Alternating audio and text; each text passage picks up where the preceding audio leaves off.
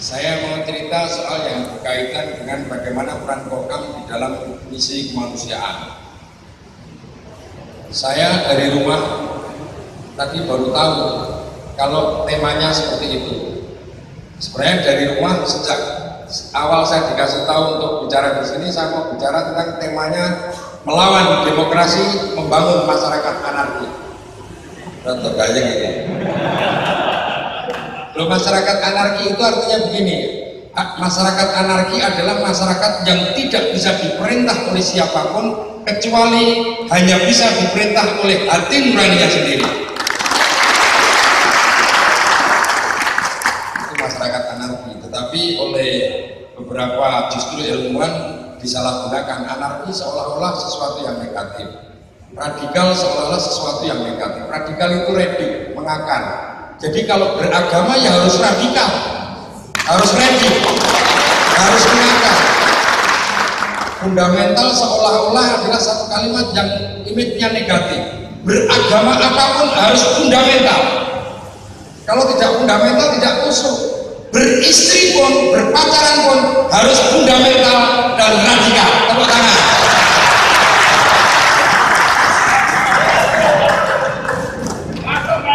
Ya, Oke, saya langsung masuk ke apa yang berkaitan dengan SAR DIY. Sejak tahun 2005 akhir saya diminta oleh Merda Dalem untuk menjadi komandan SAR DIY, bukan komandan SARKEM ya. Jangan sampai anu apa keliru. Jadi komandan SAR DIY. Kemudian tahun 2006 jadi kira-kira enam bulan kemudian saya dilantik lagi oleh Allah Subhanahu wa taala bulan Mei gempa bumi di Bantul. Sekian periode berganti-berganti terus, teman-teman tidak mau. Harusnya tetap saya, pokoknya mintanya tetap saya jadi komandan SAR. Tahun 2010 dari sekian periode sudah sekian periode saya dilantik lagi oleh Allah Subhanahu wa taala dengan erupsi Merapi. Saya sampaikan kepada teman-teman sekalian tadi Mas uh, Mas Sudin ya, Mas Suri, Mas Mas Suri. Jadi gini Mas Mas Suri, teman-teman nano Pak Kapolda, teman-teman Muhammadiyah itu kan punya tim namanya MDMC. Yang perlu teman-teman ketahui MDMC itu dulu yang diklat pertama kali SARDIY dan gratis Pak. Tepuk tangan loh.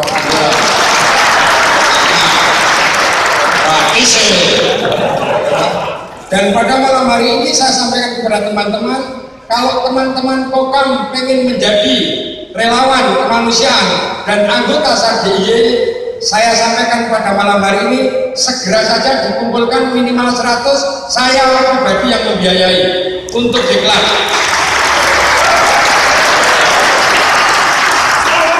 SARDIY sejak zaman saya komandannya sampai ada gempa bumi sampai gempa bumi sampai ada erupsi merapi tidak sekalipun uang pembiayaan dari untuk biaya operasional minta ke APBD maupun APBN tidak pernah. Operasi Sarjaya sampai hari ini hanya dibiayai dengan APBS anggaran pembelanjaan Broto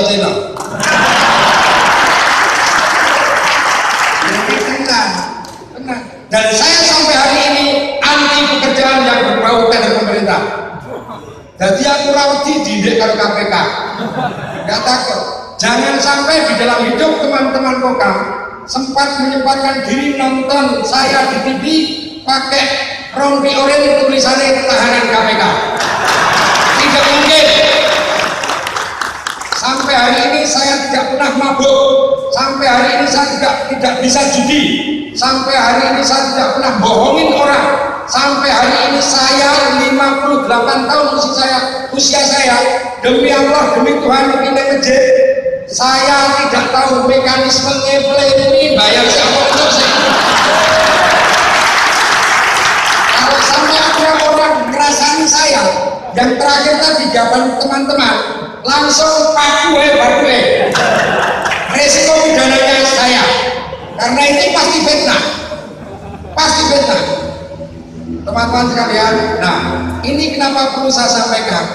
Karena karena begini, saya menyarankan kepada mengisyaratkan dan menyarankan kepada teman-teman anggota SAR yang baru syarat jadi anggota SAR kalau dulu pokoknya bersedia donor darah tapi yang syarat nomor satu ini Pak Kapolda sudah saya hapuskan mohon maaf bagi teman-teman kalau ada yang di kenapa? Ada cerita menarik.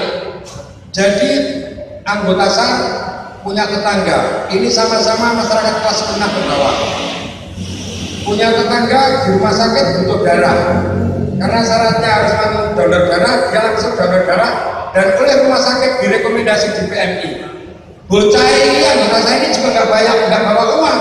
Karena mau mendonorkan darahnya begitu sampai di PMI darahnya logika sederhananya anak ini kemudian kan meminta darahnya yang baru saja disedot untuk dibawa ke rumah sakit Kandi Nugroho di sana.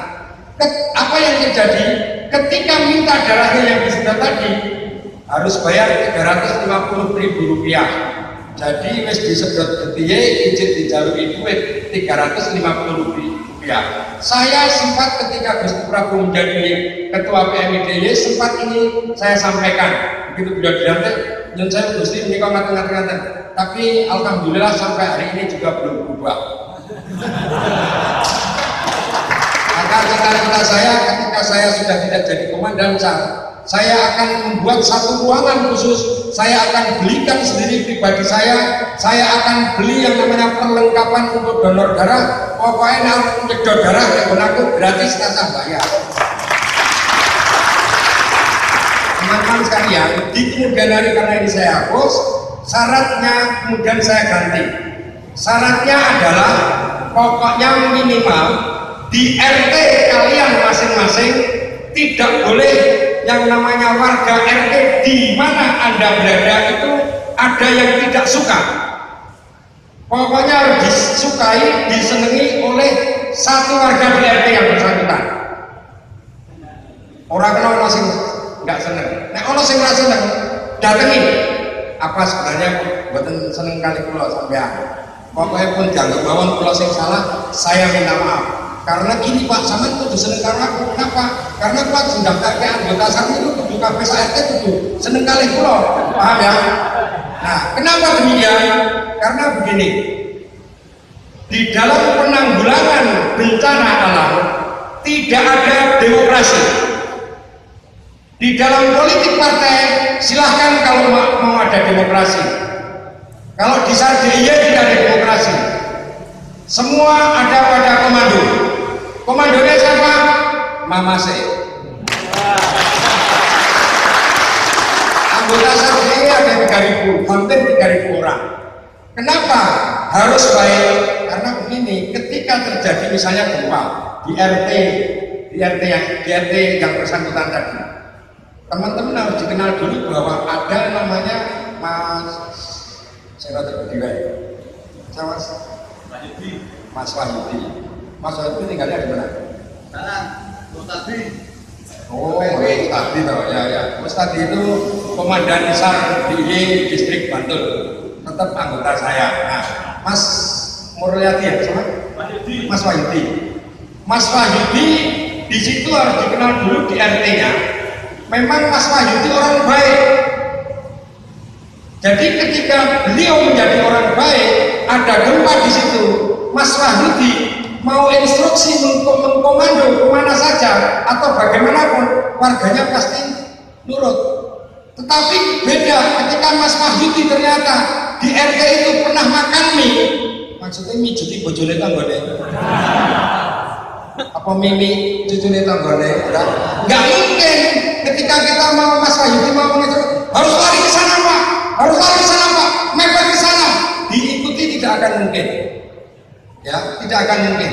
Ini pernah terjadi di desa Argomulyo uh, Cangkringan ada lurah Harjo, ada lurah Kepoharjo ada lurah uh, Argomulyo ada lurah Argomulyo Kepoharjo itu paling atas ya. Terus sebelahnya Harjo. ini lurahnya memang baik sehari-hari. Jadi ketika mau ada evakuasi mau ada pengungsian lurahnya ini hanya cukup ngomong kepada warga begini ini sementara yodo medun bisa engko nek wis rampungan kita mulai naik lagi. Tahu ya artinya? Nah kenapa? Mereka warganya ikut turun mengungsi. Kenapa diikuti? Karena lurahnya ini memang baik. Dua orang ini memang baik. Dulu sebelum erupsi saya tidak tahu sekarang setelah pada ngerui pasir aku kurang ngerti isi HP opora saya tidak tahu tapi yang jelas dulu sebelum erupsi orang ini baik nah berbeda dengan yang namanya lurah Argomulyo mohon maaf ada yang rumahnya Tangkringan Gak ada ya? Ini bantul semua? Gak ada ya? Nah, ceritanya begini. Saya jam 7, saya setengah 7 saya telepon sama lurahnya. Pak, ajak ngungsi wae Pak. Segera, karena saya dapat informasi dari BMKG, dari BPTKG, bahwa sepanjang itu, sepanjang kali Merapi harus mengungsi semuanya di radius 8 kilo. Saya telepon, Pak turun semuanya segera mengungsi. Sekarang, wah ya orang dan ini kabeh rakyat dadak direbut. Nah ini harus ada demokrasi. Ya, ada demokrasi kali. Enggak orang, pokoknya ikutin saya. Harus turun sekarang. Orang enggak, sebelum saya bu, pokoknya ikut direbut, saya ikut tak undangi. Kemudian dia tidak mau. Akhirnya warga itu diajak rapat di kantor kelurahan Pak Kapolda. Lah rapat, blang blang blang blang blang blang, sampai jam 10 11-an mereka pulang. Di dalam perjalanan pulang, warga dari rapat tadi masuk lang beronggang langsung dueng habislah semuanya habislah semuanya ini gara-gara demokrasi gara-gara demokrasi Pancasila itu tidak demokrasi benar yang terjadi sekarang maksud saya begini demokrasi yang terjadi sekarang ini bukan demokrasi Pancasila Demokrasi yang terjadi sekarang ini adalah demokrasi liberal. Demokrasi liberal adalah satu sikap politik yang memberikan penghargaan, satu sikap politik yang memberikan penghargaan terhadap kebebasan berpendapat. Itu demokrasi liberal. Demokrasi Pancasila, kita teman-teman, adalah satu sikap politik atau kebijakan politik atau keputusan politik yang memberikan penghargaan terhadap perbedaan pendapat. Makanya di dalam Pancasila itu di bawah buntutnya itu ada tulisan Bhinneka Tunggal Ika. Itu adalah sebagai dasar untuk menjalankan sila pertama ketuhanan yang maha esa, kemanusiaan yang adil dan beradab, persatuan Indonesia, kerakyatan yang dipimpin oleh hikmah kebijaksanaan dalam permusyawaratan, perwakilan, lima, keadilan sosial bagi seluruh rakyat Indonesia. P4 sekali dan juara. Dasar untuk menjalankan lima sila itu apa? Menghargai perbedaan. Makanya Bhinneka Tunggal Ika itu artinya berbeda-beda tetapi tetap satu. Bukan berbebas-bebas tetapi tetap satu. Tepuk tangan dulu. Ini yang besar, mau politik sedikit-sedikit, tetapi yang penting tidak kampanye. Dan perlu saya sampaikan kepada Pak Kapolda, saya tahu persis teman-teman Kokam, saya tahu persis teman-teman Banser dan Ansor. Saya yang jamin di Yogyakarta tidak akan mungkin ada bentrokan Banser Ansor dengan Kokam. Tidak akan mungkin terjadi. Saya tahu kenapa. Salah satunya adalah kebetulan di Jogja itu kan ada BPBD, DIY, Badan Penanggulangan Bencana Daerah. Nah, BPBD ini punya TRC Pak Kapolda. Jumlahnya ada 30 orang kebetulan kepala kepala BPBD-nya setiap tahun meminta konsultasi kepada saya siapa seharusnya yang menjadi TRC di BPBD saya kasih orang-orang saya anggota SAR semuanya saya kasih ada yang Satgas PDIP ada yang Satgas PKB ada yang Satgas P3 pokoknya macam-macam di situ. Kenapa? Dalam perspektif saya, saya Badan Penanggulangan Bencana Daerah itu tidak sekedar bertugas untuk menanggulangi bencana alam, tetapi juga bertugas untuk menanggulangi seandainya ada bencana sosial. Makanya 30 orang tadi itu konsep saya ke depan adalah sebagai perekat bagi ketika terjadi misalnya ada konflik sosial di Yogyakarta. Harapan kami kekhawatiran itu tidak akan mungkin terjadi Kenapa? Saya tahu persis teman-teman di Jogja sangat membangun familiar dengan teman-teman di luar teman-teman Kokam. Betul? Saya lanjutkan. Nah, kembali ke soal tadi. Kenapa Pak Lurah yang namanya Argo Mulyo tadi tidak tidak berani seperti bersikap seperti Lurah Kepuh sama Gelagaharjo di Cangkringan? Karena ternyata begini Pak Kapolda. Sebelum beliau jadi lurah, pernah jadi perangkat desa dan ada masalah. Ini didemo oleh warganya. Ini pernah punya masalah, didemo oleh warganya, kemudian warganya akhirnya dipecat, turun jabatan, cilakane warganya dia pokok. Kenapa? Ketika ada pemilihan lurah, perangkat desa ini tadi yang kemudian jadi lurah itu jago lurah menang. Jadi saya tidak tahu warga ini piye karena piye apa gara-gara desa ketemu apa selain saya tidak tahu. Ya saya tidak tahu. Maka saya berharap teman-teman sekalian untuk kokam membantu teman-teman Panwas uh, di 2019 pokoknya aja nanti ono wong biting-bitingan nanti itu tidak jalur ijol ya setuju ya selanjutnya saya sampaikan begini berkaitan dengan pendidikan besar tadi. Jadi syaratnya intinya intinya itu jadi wong apik. Komandan saya itu harus jadi orang baik. Perkara dipentah macam apa pun, saya ini dipentah macam-macam, muntal pasir. Sekalipun saya belum pernah makan sesendok pasir misalnya itu tidak dijual. Tidak pernah. Bahwa orang pemilik bego itu di sana ngaku-ngaku yang namanya begonya saya memang habis erupsi saya mengundang semua yang namanya pengusaha bego untuk segera mengambil pasir di gendol dalam rangka apa? Normalisasi sungai. Kenapa? Karena seharusnya pemerintah yang melakukan normalisasi, tetapi tidak ada dananya. Terus pemilik bego begini, loh, dan ini rak nganggo izin, ini piye kan nggak usah pakai izin, ini genting, ini darurat. Anggap baik aku kepala dinas perizinan. Itu pernah saya lakukan. Tetapi sumpah demi Allah saya tidak pernah makan pasir gendol sampai hari ini. Malah utang aku ke ini satu juta orang balik ke kota Bogor. Untuk mereka dia dua untuk uang muka. Tak utangi sampai hari ini tidak pernah nyawa. Tidak pernah nyawa. Kenapa saya tidak main di situ? Karena pada waktu erupsi yang kedua, ini penting. Pada waktu erupsi yang kedua, itu kan besar. Saya tidak mengizinkan anggota saya anggota saya masuk pertama. Saya menyatakan enggak, saya harus masuk pertama.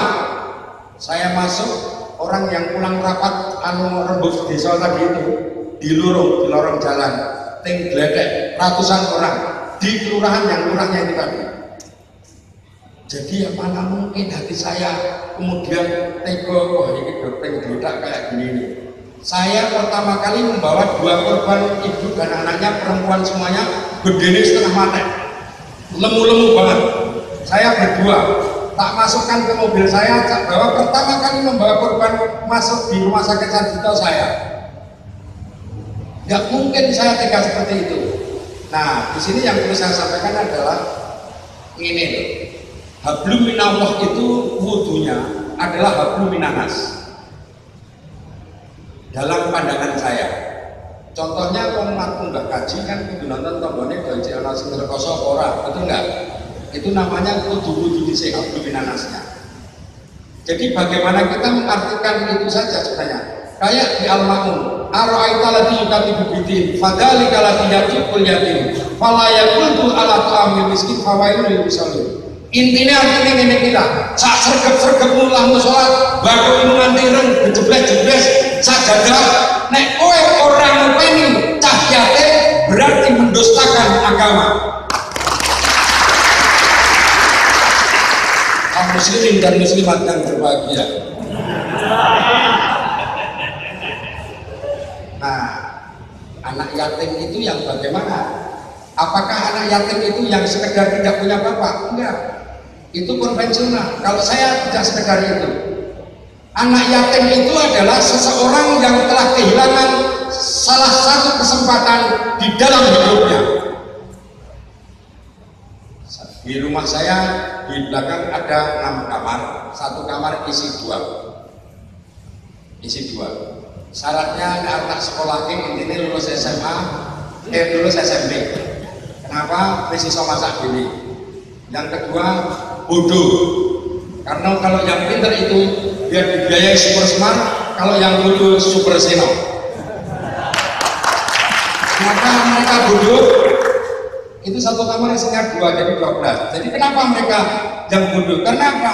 Saya melihat almarhum tadi bahwa ini dalam hidupnya telah kehilangan kesempatan untuk pintar. Oh, bodoh.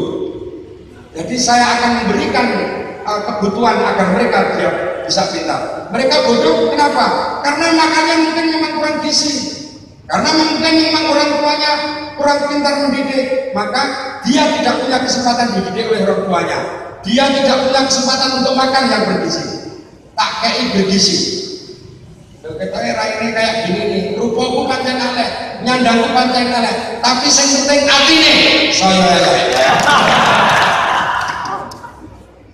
Jadi saya sampaikan kepada teman-teman, syarat jadi anggota SAR syarat teman-teman kokam kalau mau berpartisipasi di dalam kemanusiaan harus berperilaku baik. Berperilaku baik itu adalah berperilaku yang baik. Jadi tidak usah ngoyor ke mana-mana. Jadi makanya begini harus merubah mindset religiositas. Ketika engkau ditanya Tuhan ada di mana ada di mana jangan sekali-kali engkau menjawab Tuhan ada di dalam hatiku atau Tuhan ada di mana-mana. Maka menurut saya ini, ketika engkau ditanya Tuhan ada di mana, sebaiknya engkau menjawab, aku ada di dalamnya, di dalam kekuasaannya, di dalam kebaikannya, di dalam perlindungannya, di dalam kekayaannya dan sebagainya dan sebagainya. Pasti tak jamin belum karuan mana Ustaz ini. Belum karuan, kata. Nah, kalau kita kemudian pertanyaannya, loh, caranya bagaimana agar kita bisa berada di dalamnya? Kan mesti harus ada pertanyaan seperti itu. Caranya gampang. Berbuatlah yang baik. Ijak orang sing berbuat baik itu yang bagaimana? Takut wae. Ya. Ya kan sudah jelas berbuat baik, ya sudah. Pokoknya berbuat baik itu yang berbuat baik. Sudah, itu yakin ilmu pasti. Ilmu ajaran, bukan ilmu sosial yang mengatakan pasti senantiasa berada di dalamnya. Ini pernah saya buktikan. Ketika ada Eni Yunanto masuk kecemplung di kawah, dalamnya 150 meter. Saya telepon, saya ngomong kepada teman-teman anggota saya. Ono sing ora? Wani kabeh. Bilang begitu. Kemudian saya pilih. Saya kan tahu tim yang kualifikasi vertikal itu tim kualifikasi yang punya water rescue dan sebagainya saya tahu. Saya tahu betul. Ada tim yang pintar misalnya teroris uh, vertikal teroris horizontal saya tahu. Sing apik sing ini saya tahu. Saya hanya sampaikan begini. Karena teman-teman bertanya dan tapi orang beli baju tahan api baju tahan panas kita tidak punya? Enggak enggak perlu. Saya konsultasi sama Mbah Rono Intinya kita jangan turun di kubah lapak dalam keadaan mendung, dalam keadaan malam hari, dalam keadaan pagi hari atau dalam keadaan malam hari. Jika itu yang saya katakan. Saya share ke mana-mana. Setelah itu mereka berangkat, terus uh, dua hari mereka mengatur instalasi vertical rescue sampai ke bawah. Saya cuma sampaikan begini, yakinlah Allah senantiasa melindungi orang-orang yang punya niat baik. Padahal di sebelah kawah ini kan pelupuk-pelupuk di sebelahnya kan kering. Itu panasnya sekitar 200 sampai 300 derajat. Nah anak-anak ini saking yakinnya bahwa Allah senantiasa melindungi orang-orang yang punya niat baik tadi. Mereka tetap turun, turunnya pakai apa? Pakai nganggo kelambi batik pakai kayu batik. Dan terbukti setelah sampai di bawah kan ada yang membawa termogam namanya. Pakai arti jangan ke kanan 3 meter. Panas 150 derajat. Jangan mundur 2 meter panasnya jadi seperti di apa dipagari dan di tempat teman-teman Eri Yunanto ini panasnya hanya 37 derajat di situ rasa iman saya bertambah bahwa ternyata benar orang-orang yang punya niat baik pasti dilindungi oleh kekuasaan Allah Subhanahu wa taala. Dan akhirnya Eri Yunanto terangkat. Terangkat ya tentu tidak selamat karena khususnya ke tim teleler karena jebol besinya, besinya hancur, semuanya hancur. Saya waktu itu tidak di lokasi, saya menunggui bapak ibunya. Ketika sebagai komandan, saya menyampaikan kepada bapak ibunya tidak boleh dengan serta merta, harus ada etikanya.